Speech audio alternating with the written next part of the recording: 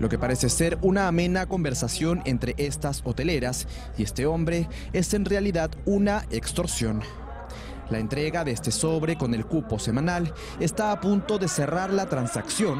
cuando en escena ingresan los efectivos de la División de Investigación de Secuestros y Extorsiones para capturar al delincuente infraganti. En esas circunstancias ha sido detenido Ítalo Larenas Ayón, de 45 años, en el preciso momento que había cobrado el cupo extorsivo al, al conductor de un hospedaje en esta zona de cercana a este conocido centro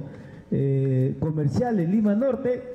y en la parte exterior de este local se encontraba Jorge Luis Ayala Barrientos, un ciudadano extranjero de nacionalidad argentina que se encontraba en situación irregular en nuestro país, haciendo de campana para que, este, para que el primer sujeto pueda cobrar libremente y se dé la fuga. Mil soles semanales era lo que se le exigía a estos empresarios y en los registros de los videos de seguridad ha quedado grabado las múltiples veces en que la arena Saiyón llegaba al local para pedir el dinero. Y lo que se puede eh, conocer por referencia del agraviado en este caso, señala de que él se hacía pasar por integrante de una organización criminal Los Gallegos,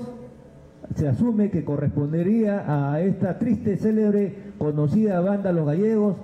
correspondiente al tren de Aragua. Y si los empresarios no cedían ante los pedidos, alias Pelado los amenazaba con detonar este explosivo. Estamos hablando de un petardo, un cartucho de dinamita forrado con cinta aislante y prácticamente se ve claramente esta, lo que es el cordón detonante, el fulminante, para que pueda ser utilizado en caso de que algún eh, agraviado se, no acceda a sus pretensiones ilegales. Los extorsionadores tendrían más víctimas en la zona, por lo que el coronel Guamán ha invitado a todos los agraviados a formalizar una denuncia.